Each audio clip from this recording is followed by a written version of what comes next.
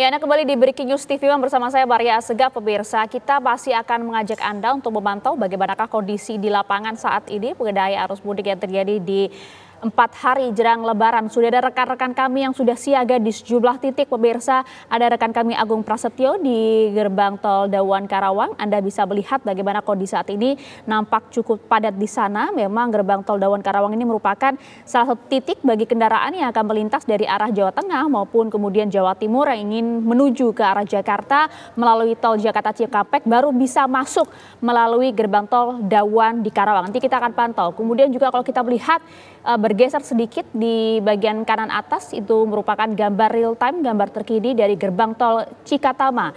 Anda bisa melihat kepadatan masih terjadi di sana, di mana kontraflow juga diberlakukan dari mulai tol Jakarta Cikampek kilometer 40 hingga gerbang tol Cikatama kilometer 72 dan kemudian dilanjutkan dengan rekayasa lalu lintas satu arah atau one way dari gerbang tol Cikatama menuju ke gerbang tol Kalikangkung Semarang. Dan Anda bisa saksikan juga di bagaimana kondisi saat ini di jalur Nagrek cukup ramai lancar, bisa Anda lalui dan juga nanti kami akan ajak Anda untuk memantau bagaimana kondisi saat ini terkini di empat hari jelang lebaran melalui Pelabuhan Merak. Tapi kami akan ajak Anda terlebih dahulu menuju ke gerbang tol Dawan Karawang. Sudah ada rekan kami Agung Prasetyo di sana. Agung nampaknya semakin siang semakin padat saja. Apa yang bisa Anda laporkan langsung dari sana? Silakan.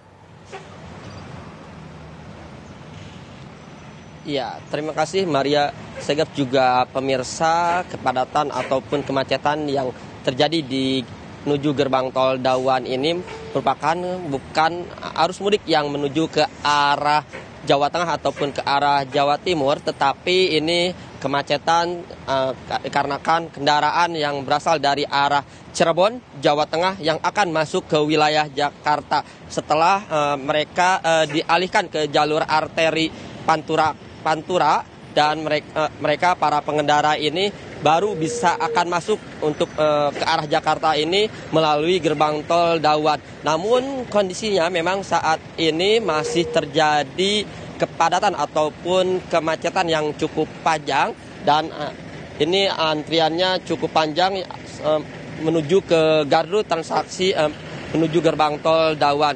Dan untuk para pengendara atau pun uh, yang akan menuju ke arah Jakarta ini sudah uh, memang uh, sudah terjadi kepadatan sejak pagi tadi dan didominasi oleh kendaraan pribadi selain itu juga bus antar kota ataupun antar provinsi yang telah mengantarkan para pemudik di wilayah Jawa Tengah dan Jawa Timur.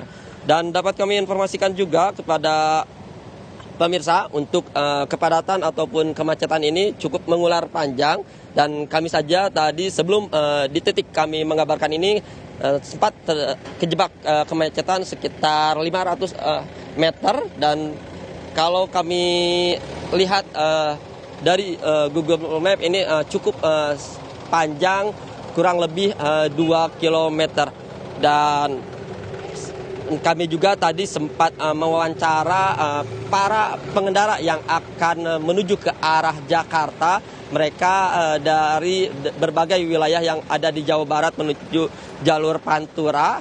Mereka uh, selain terjebak di menuju ke gerbang tol Dawan ini, mereka juga uh, terjebak di sejumlah titik uh, di ruas jalur arteri Pantura Pantura wilayah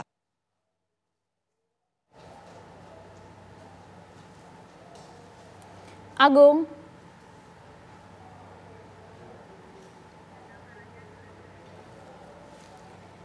Ya pemirsa kami mengalami gangguan komunikasi dengan kontributor kami yang berada di wilayah Karawang, tepatnya di jalur menuju gerbang tol Dawan. Tadi disampaikan oleh rekan kami pemirsa bahwa ini merupakan jalur bagi kendaraan dari arah Jawa Tengah, Jawa Timur yang akan menuju ke Jakarta. Ini memang dialihkan menuju ke jalur arteri dikarenakan memang kepadatan terjadi cukup panjang di di gerbang tol Jakarta Cikampek. Dan ruas jalur arteri Pantura pun menjadi salah satu titik kepadatan. Dan kalau kita lihat saat ini di layar kaca Anda pemirsa, ini merupakan gambar terkini dari gerbang tol Cikatama.